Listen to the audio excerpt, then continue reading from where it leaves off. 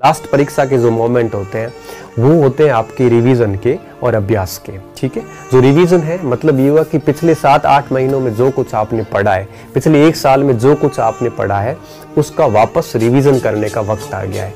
तो ए to Z आपने जो कुछ पढ़ा है, उसको सारे को एक बार वापस पढ़ लीजिए, ताकि एग्ज़ाम हॉल में धुंधलापन ना आए।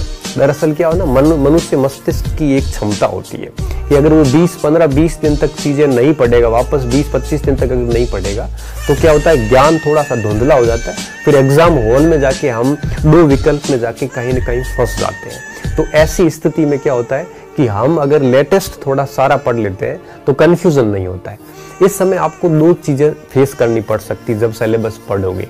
पहली समस्या ये आएगी कि आपको ये लगेगा कि मुझे कुछ भी याद नहीं है। और दूसरा, आपको ये लगेगा कि मैंने कुछ पढ़ा ही नहीं है। क्योंकि व्यक्ति को अपनी कमियाँ बहुत लास्ट में नज़र आती है। जब भी कभी हम कोई स्पोर्ट्स हो या कोई भी चीज़ हो, जब हम सबसे लास्ट में जाते हैं ना, अंतिम क्षणों में, तब हमें हमारी कमियाँ नज़र आनी शुरू होती है। तो जब कमी नज़र आती है, तभी हम उसके ऊपर परफॉर्मेंस करते हैं। तो ऐसी स्थिति में अगर अगर अभी आपको ऐसा लगता है कि भाई मुझे कुछ नहीं आ रहा या मैं कुछ कर नहीं पा रहा हूँ, या मुझे कुछ भी याद नहीं है तो देखो, इससे डरने की आवश्यकता नहीं है स्टूडेंट ये एक्चुअल में क्या होता है? ये ह्यूमन नेचर है, ये सभी के साथ होता है। ये आपके साथ भी होगा, मेरे साथ भी हुआ था और सारे दोस्तों के साथ।